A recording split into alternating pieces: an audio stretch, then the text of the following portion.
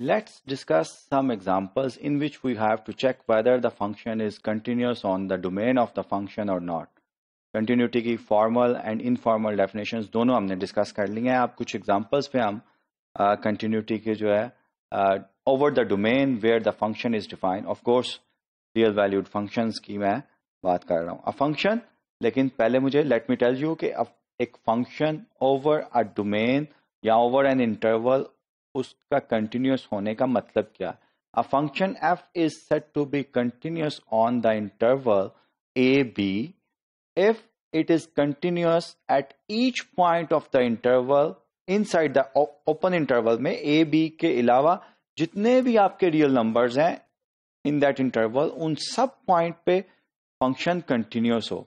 अब ए पे ए जो आपका फ़र्स्ट पॉइंट है इंटरवल का ए पे हम सिर्फ़ उसकी लिमिट जो है वो चेक कर सकते हैं राइट साइडेड लिमिट तो ए पे राइट साइडेड लिमिट हो और बी जो एंड पॉइंट है आपका इंटरवल का, उस पे आप उसकी लेफ़्ट साइडेड लिमिट जो है डिफाइन कर सकते हैं, क्योंकि ए और बी के बाइट तो फ़ंक्शन का हमें पता ही नहीं किस तरह डिफाइंड है, क्या बिहेवियर है। तो a function on a closed interval A B is set to be continuous if that function is continuous at each point of the open interval AB and at the first end A पे उसका right sided limit exist right sided continuous हो और and point दूसरा जो B है वहाँ पे वो लेफ़्ट साइडेड जो है वो कंटिन्यूस हो then we will say that a real valued function is continuous on the closed interval a b similarly open interval के बारे में भी आप डिफाइन कर सकते हैं So let's discuss the continuity of f of x equals square root of x on the interval 0 infinity. It, it means 0 infinity इस interval पे हमने इसकी continuity जो है वो discuss करनी है तो सबसे पहले हम क्या करते हैं f of x minus f of 0 जो है इसको हमने consider किया of x minus f of 0 in fact क्योंकि interval 0 infinity है तो मैं 0 पे left sided राइट साइड जो है ज़ीरो का लेफ़्ट साइड तो ये है जो कि डिफाइंड ही नहीं है। राइट साइडेड लिमिट जो है, वो मैं चेक कर रहा हूँ। इस इंटरवल पे कंटिन्यूटी चेक करने का क्या मतलब है? कि मैं ये बातें चेक करूँगा।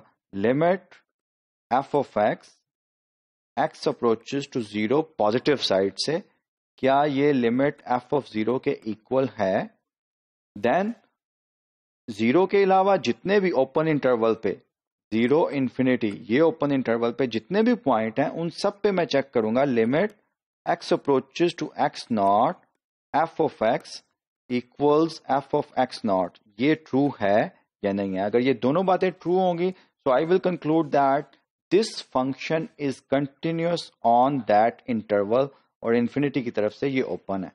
तो that's why I have consider F of X minus F of zero जो कि स्क्वेयर रूट ऑफ़ एक्स बनता है। It must be less than epsilon और ये लेस देन एप्सिलॉन कब होगा?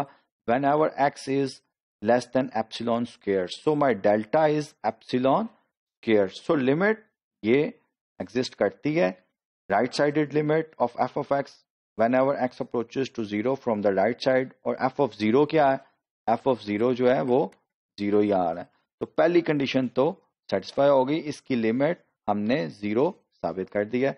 अब एक्स नॉट कोई भी पॉजिटिव नंबर लें, क्योंकि डोमेन इसकी क्या है? Zero infinity so I take X not any positive number and X greater than equals to zero such that F of X minus F of X not मैंने लिया। यहाँ पे ये एब्सोलूट वैल्यू है। अब ये मैं यहाँ पे एक्स माइनस एक्स नॉट बनाऊँगा। मैंने मल्टीप्लाई किया एक्स प्लस एक्स नॉट से। इससे मल्टीप्लाई और डिवाइड किया तो ये of course X minus X not बन जाएगा। अब यहाँ पे this should be less than epsilon delta मैंने चूज़ करना है। अब ये वन ओवर एक्स जो है greater than equals to zero number है। ये जो X minus X not over X plus square root of X not इसके और इसके दरमियान क्या रिलेशनशिप होगा? Square root of X not इनके दरमियान। ऑफ़ कोर्स ये जो है, ये पॉजिटिव नंबर कोई मैं ऐड कर रहा हूँ, ये ग्रेटर होगा। ठीक है? ये छोटा होगा अगर मैं X not square root of X को रिमूव कर दूँ तो ये बड़ी वैल्यू होगी। So I can have from this one X minus X not mod over square root of X not ये ग्रेटर होगा इससे। अब इसको एप्सिलॉन से मैं कम करना चाहता हूँ। So delta this is epsilon less than epsilon so this will be X minus X not less than delta I have to find out the delta so अगर ये लेस देन एप्सिलॉन मैं करना चाहता हूँ तो X minus X not delta must be square root of X not into epsilon अगर delta ये हो या इससे मिनिमम हो, तभी ये जो F of X minus X F of X not है, ये लेस देन एप्सिलॉन होगा। So we are able to find out a delta for each epsilon greater than zero it means कि आपका फ़ंक्शन जो है लिमिट एग्जिस्ट कर लिया और लिमिट उसकी क्या है? एफ़ ऑफ़ एक्स नॉट है। तो for each x naught greater than zero this function is continuous यहाँ पे एक बात नोटिस करें कि डेल्टा की वैल्यू हमारी क्या आई है?